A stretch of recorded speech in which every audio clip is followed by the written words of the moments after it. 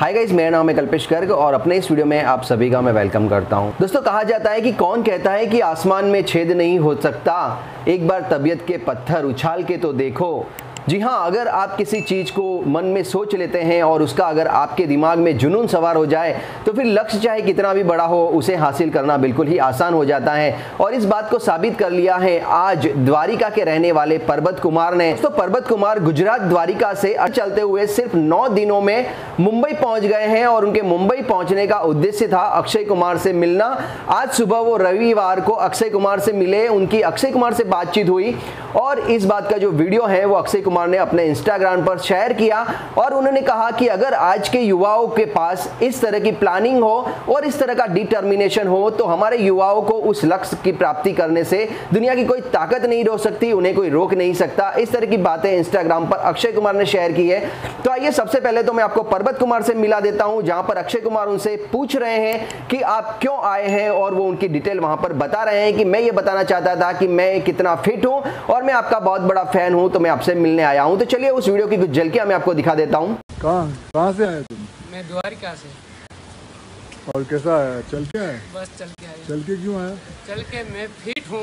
सबको बताना चल चाहता हूँ कि चलना चाहिए सेहत के लिए अच्छा है।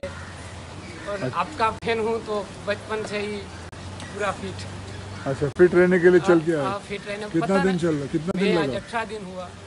अठारह दिन से चला? अठारह दिन से कितना किलोमीटर चला? नौ सौ। 900 किलोमीटर। हाँ। गुजरात से यहाँ 900 थोड़ी होता है। हाँ द्वारिका। मैं पूरा बोल रहा हूँ द्वारिका। द्वारिका से? हाँ द्वारिका वहाँ से? अठारह दिन में? हाँ तो दिन में कितना किलोमीटर पचास पंचावन। आज तो मैं रात में भी चला था क्योंकि आप संडे तक मिलना था आपको सोमवार तो आपको मालूम था संडे में घर पे आप पता है आपका फ़ैन हूँ सब पता है। अच्छा। को इसीलिए मैं आज आ गया मैं संडे को मैं जा रहा बारिश भी थी लेकिन कोई बात नहीं। आज ऐसी हालत में आ गया अभी आया। अच्छा कुछ खाया नहीं अभी तक कुछ खाया नहीं है। अच्छा था चलो अभी कुछ खा के जाना चलो बहुत अच्छी बात है इतना चलते हो लेकिन हाँ, मेरे को पता है सर आप तो तुम उधर भी चल सकते हैं।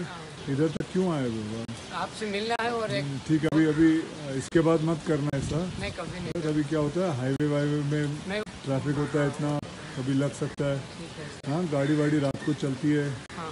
हाँ चलो तो देखा दोस्तों ये नवयुवक जो है यकीनन YouTube पर और सोशल मीडिया पर वायरल होने वाला है। आप देखते रहना, आप जहाँ भी जाओगे, इसकी वीडियो आपको दिखाई देगी, क्योंकि यहाँ पर अक्षय कुमार से मिलना बड़ी बात नहीं है। रोज लाखों फ़ैन उनके पास पहुँच जाते हैं।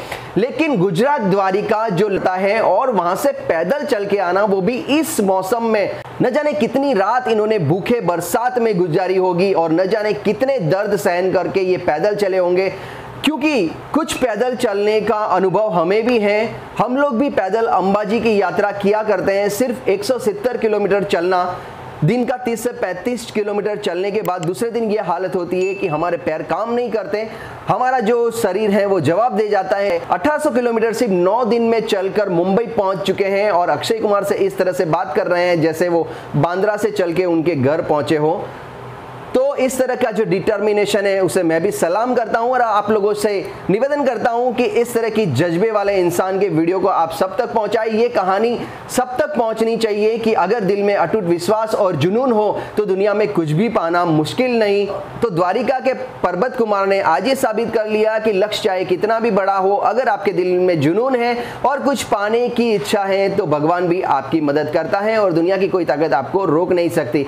इस तरह की मोटिवेशन स्टोरी पाने के लिए हमारे चैनल को सब्सक्राइब कर दीजिए और बेल आइकन दबा दीजिए। आज तक के लिए इतना ही। अगले वीडियो में फिर मिलेंगे। तब तक के लिए जय हिंद, जय भारत, जय भारतीय सेना।